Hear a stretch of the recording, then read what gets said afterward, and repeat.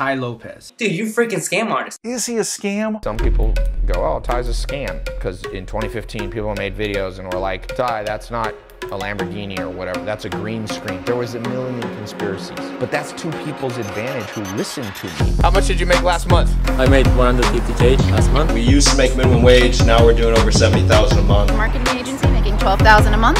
35,000 a month. Making 12,000 a month. So now I'm at $10,000 a month. Uh, about 250. All the way up until 20000 a month, $5,000 a month. I'm doing over $60,000 in gross monthly sales. $2,500. Now I'm making 15.5 a month. On track to make six figures. 224,000. Over 130k a month. 130k a month and you're doing marketing. I can't even post all the testimonials. I can't. There's too many. Just remember this. The less people who believe something can happen, the more opportunity for you. The more competitors, the less profit you'll make. That's why when people say, oh, Tai, all this stuff I see you posting looks like a scam, like you have courses and things, and are people actually making money? Because I see you saying this person made 50 grand a month and 20 grand a month, and oh, that seems like paid actors. I'm happy. You should be happy too. Less competitors, less suppliers, the more profit for you. Supply and demand. You don't need a college degree. You don't need an MBA to figure out supply and demand. And the demand's there. You know how many business owners want somebody to run their social media marketing for them? Almost all business owners. Coca-Cola doesn't even know how to run, run their own Instagram. They got less followers than me, biggest brand in the world. They post once a week. They don't they spend a billion dollars on marketing and they forget about social media. That's an opportunity for you. Maybe don't go after Coca-Cola as your biggest client or your first client, I should say. But sky's the limit. You might get a client like that one, one day that pays you a million bucks to do their social media marketing. E-commerce, I've been telling people about. I mean, Black Friday had the biggest sales day online ever. Everything's going bankrupt. That's stores. Sears is going bankrupt. American Apparel went bankrupt. J.C. Penney will be gone. Walmart's on the decline. Amazon's up. So the less people who believe what we're talking about, what you and I understand, be excited. I always tell people once in good conscience, I say, listen, here's an opportunity for you. And then if they shout back, oh, I don't believe you, prove it to me. I'm like, why would I prove it to you? Why would I create a competitor who has animosity and nothing but venom? I'm happy for you to stay in the status quo, my friend. Stay with what you're doing. Build your, open your little store, you know, brick and mortar store. In good conscience, I can say, I told people, they didn't listen. Real estate, bigger opportunities than ever. And there's going to be a recession here relatively soon. You can count on it. Capitalistic cycles go five to 10 years. Last one was 2008. It's coming right around the corner.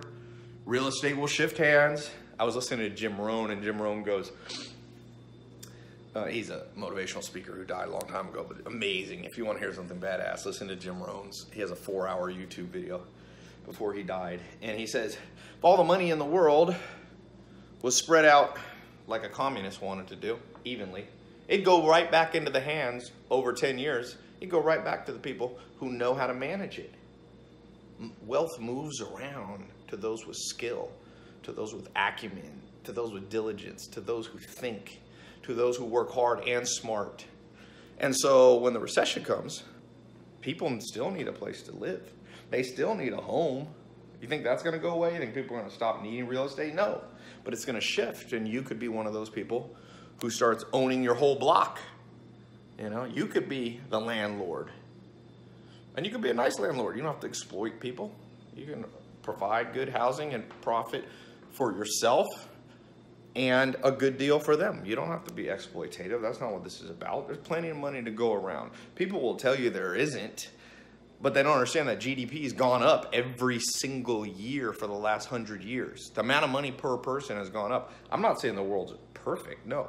The least uh, exciting part of planet Earth is the amount of opportunity they, there is versus the amount of people who know how to take it. Take it. And in order to take it, I'm going to tell you three things you got to know. To take the upcoming opportunities, the disrupted industries, e-commerce, social media, real estate, and you to profit by it, and you to make a job out of it, and a career and an income out of it. You're gonna need three things. One, you're gonna have to be able to see what other people can't see. When other people are skeptical, you gotta, Jeff Bezos got on the e-commerce train in 2004. He's one of the first people ever. And look, he was rewarded with being the wealthiest person in the world. Same with Steve Jobs with computers. They all laughed at him. But that means there was no competitors and he just went in there. That's number one. You got to have that vision and that thick skin. Number two, you have to build some skill. You know, you got to build some skill. And most people have mentors or people who they kind of give them a boost and guide. Find somebody locally, find somebody online that can help you and cut the learning curve. Because if the learning curve takes too long, then other people come in and it'll take you too long. Even if you saw it first, other people will grab the opportunity before you. And then third, and last but not least, um, when you feel like giving up, remember the Chinese saying, the temptation to give up is greatest right before you're about to succeed. So when you start your little social media marketing agency or e-commerce or your entrepreneur venture or a side business while you keep your main job or your real estate investing or whatever it is you do, you're going to encounter struggles. This ain't a get rich quick talk that I'm giving. You can get rich, but it rarely is quick and easy. But it happens, and sometimes it's easier than you think. It hasn't been as hard as I thought it would be. But that's not to say it hasn't been full of struggles. I mean, growing up, I thought it was impossible. I never met a millionaire in my life. It's not impossible. But remember, the temptation to give up is greatest right before you're about to succeed. So get excited when things aren't working perfectly, because that means you're getting closer, my friend.